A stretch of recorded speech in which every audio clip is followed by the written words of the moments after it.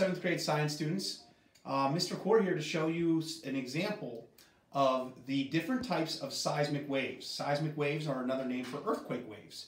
They are similar to sound waves in that they are a mechanical wave and can travel through the earth.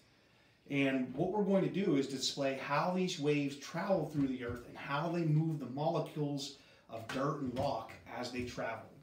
The first type of wave is called a P wave, and that's a longitudinal wave that moves back and forth.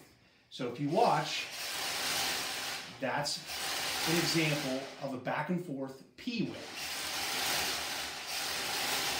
The next example is called an S wave. S waves move uh, up and down motion, and they move through the earth like this. They're slower, but they have more power, more range of motion, more amplitude. And you can see as they move through how they move the duct tape up and down. And the last type of wave are called surface waves. There are two types of surface waves. Surface waves that move side to side,